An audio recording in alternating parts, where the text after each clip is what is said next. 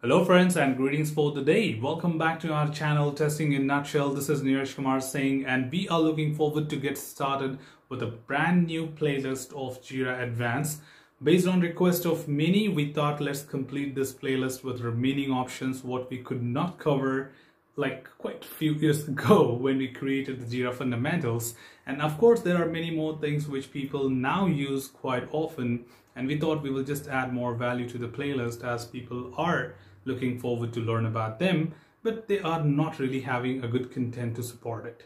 So in that context, uh, we'll be coming up with this new playlist and today is the first tutorial of this particular channel or this particular playlist where we are getting started with components in Jira. Now components in Jira are very very useful to categorize your product into different segments and track them independently. Thus it's gonna be very very helpful in terms of how exactly you can customize your product into multiple segments, categorize your set of work items under that, and how exactly you would have the benefits of having being component created. But let me tell you right here, creating component is not mandatory. It is completely optional, subjected the organizations, subjected the team needs to break their work up and then manage it. So let's get started quickly and understand the same thing with hands-on exercise on what exactly components in Jira is.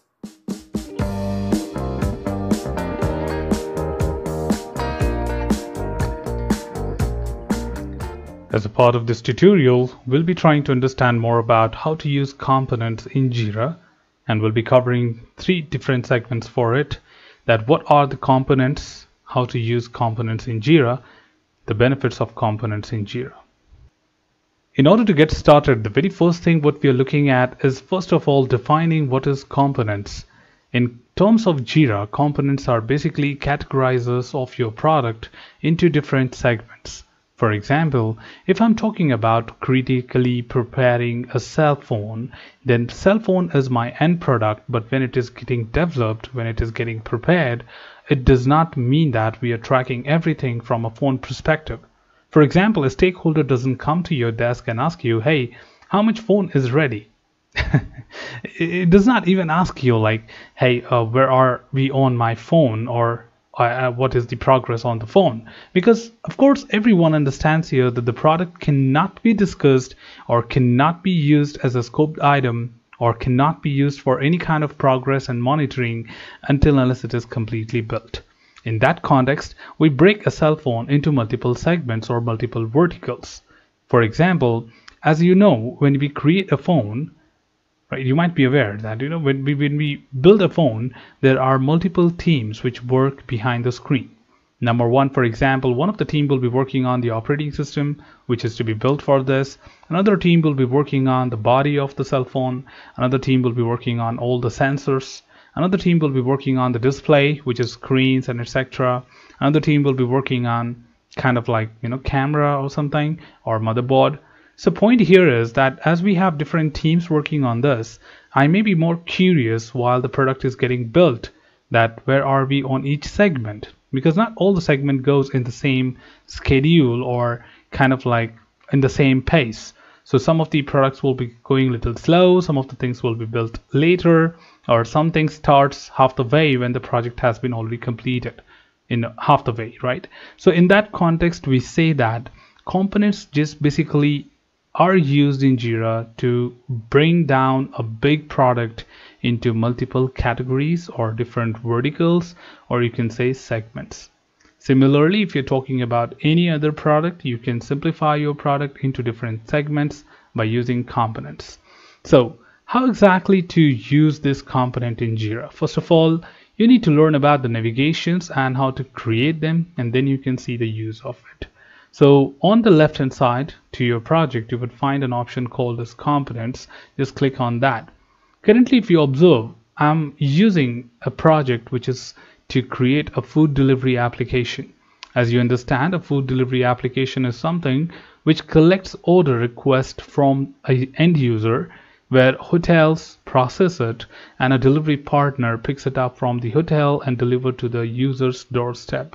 Now point here is I can talk about this food delivery app as a product as well but it may not make any sense till I have some good visibility of how the product looks like. So in that context, I have broken all my work or in simple terms, I'm categorizing every single issue, be it an epic, story, task, bug under multiple segments so that I can talk very precisely which one is going smooth and which one needs attention. So we just created three components here including hotels, delivery partner and customers. Now any of my work item within the project will be back tagged to these components, right? For an example, taking the example of our phone, how exactly can we quickly create a component in Jira? So it depends on your access if you have the rights of creating a component. It completely depends on your organization structure and Jira administrator. If in case you don't have the rights and somebody has asked you to do that, all you need is the permission to create a component. Quite often, it's project manager who basically creates the component for the project and the team looks forward to use it. So in, in order to create a component, all you need to do is come to the right hand side and click on create component. As you say create component, give a name to it. For example, I'm calling it out as software, considering I'm making a simple calculation software and trying to break this into two different components that is software and hardware. So software is one of my component and I would can I can come here and give a description also. For example, software includes the software part of the product right and we do have to select a component lead basically the person who is taking the ownership on that particular component or other way around you can say that if users have any concern about that component or queries they can always reach out to this person. Following the protocols of Jira you need to start typing the name to search for a user. And again default assignee is a field where you say that if any issue is created with this component being added then by default it should be assigned to someone right? If that's the case you can define that person name right here if in case not then you can just leave it project default which is currently set to unassigned as default.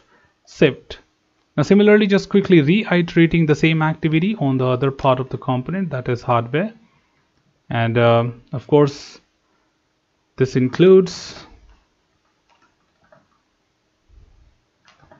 the hardware part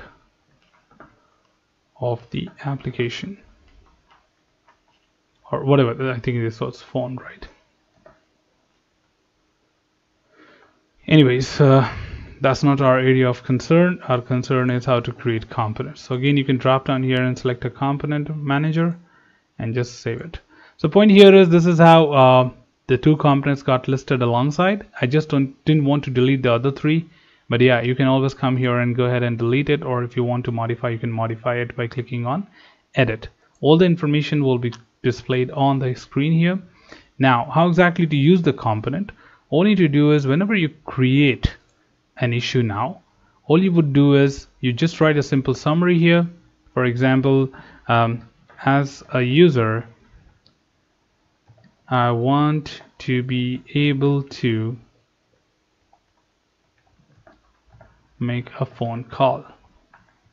Or let's make it more technical make a voice call so again this user story belongs to a component so just scroll through the component field and come down and you can find your components listed here. So you can just select hey this is a software parameter and tag it. And again if in case you have any story which contributes to both the software and hardware and you can select both of them here right? So there there's no restriction that you can select only one component at a time. If in case you find an epic you find a story task subtask or even a bug which contributes to multiple components you're free to select both of them or many other of them right? Whatever it is applicable. Now point is when should I create components? Of course as you are going to use them while creating the issues the components must be created initially in the project where the management decides how are you going to break your big product into multiple segments so that it becomes easy to track. Let's click on create and the issue will be created. Other fields you can cover it in my other playlist. And uh, right here if I just go ahead and quickly refresh this item or this particular page you would see that it started reflecting me that currently one issue exists under this software component. On the other hand if you see my other issues uh, other components from this project is customer it has around six issues. So point here is component doesn't only try to you know categorize and simplify your product or your work of dealing with a project but also gives you a reporting solution. It becomes much more convenient to get a data quickly that hey what's happening on my software side? What's happening on my hardware side? And where are we on these items? For an example if I have to pick up delivery partner quickly I, these are just hyperlinks okay? You can click either on the number of issues or you can click on the name of the component and as you click on the customer you would be automatically taken to a filtered output of all those items okay which come under this particular component. Of course you can further filter down and say that how many are in to do how many are in progress how many are done which could give you completely precise output that hey the three items are in to do one is done and another two in progress which would give you a clear uh, you know percentage of where are we on customer as of today. Same way other components can also be calculated and this is going to make your job much much easier on reporting while the project is going on right? Because it's it is just quite often anytime people will just step in and say hey can you tell me how things are going on the software side how things are going on the hardware side how things are going on the sensor side of the phone point is you may have 1000 2000 3000 issues in the project at any point of time but you cannot just sit down manually and sort list which story belongs to sensor which story belongs to software and hardware. So in that context it becomes very very important that if you can add components then go ahead and add it. But it's not mandatory. It's not really mandatory to break your product always into segments we're talking about the projects which become very very huge very complicated to get a concrete status update or concrete breakup of how the things are happening by different teams. So you can say it could be different teams, it could be different segment of the product. If in case you're finding it difficult to deal with them or manage them in Jira, components is for you. But if you're dealing with very, very simple applications like making a website, okay, you know what, you just don't need anything. okay, you don't need any kind of components to be added there because it's a single web page and all you need to do is create different tabs and build this up. So you don't really need components. It's not necessary. So it's not at all mandatory. It's up to you. If you think you're finding it difficult just go for it. Okay so I hope you had a wonderful understanding of components here. Uh, we would come back to you with more advanced learning in this playlist so stay tuned for that that's all from this particular tutorial team. Should you have anything else, feel free to comment below. I'm always there to address your queries and answer them well.